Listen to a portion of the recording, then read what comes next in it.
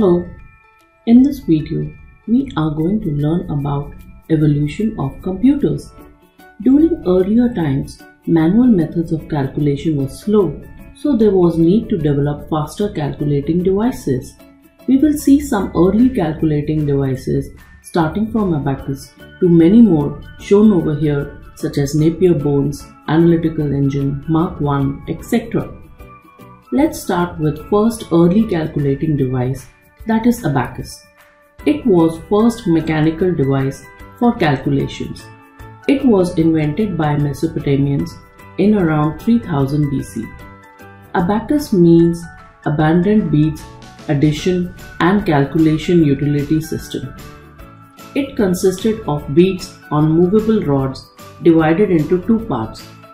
Even today, it is used for young children to learn basic calculations. Next came Napier bones.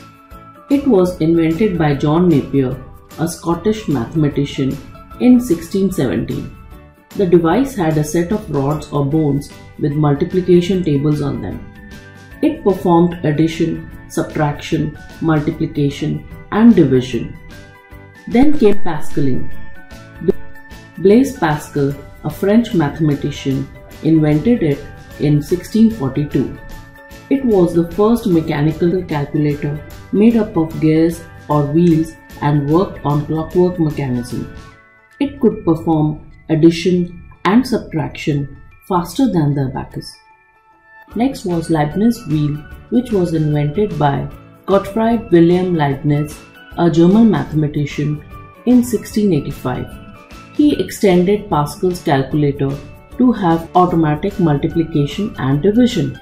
It had a cylinder or step drum with a set of teeth of incrementing lengths which was coupled to a counting wheel. Then Jacquard's loom was invented by Joseph Jacquard in 1804. It made the cotton weaving process automatic. The loom was controlled by a number of punched cards laced together into a continuous sequence. Then came differential engine invented by Charles Babbage, a British mathematician in 1822. He is also known as father of computers. The machine could solve differential equations and it was powered by steam. It stored programs to perform calculations and print results automatically. He then invented analytical engine in 1833 which was the basis of modern computer. The machine had five units input, output, store, mill, and control. Next census machine was invented by an American named Herman in 1889. It was invented to count the population of USA. Its operations were controlled by punched cards. Then came Mark I, which was invented by Howard Aiken in 1944. He collaborated with IBM and developed the largest electromechanical computer.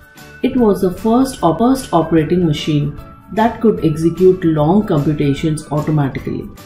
It is considered to be the real beginning of the era of modern computer. In 1945, Dr. John von Neumann proposed the concept of a stored program computer. As per the concept, the program and data could be stored in the same memory unit. It had five components processing unit, control unit, memory, external storage, and input and output mechanisms.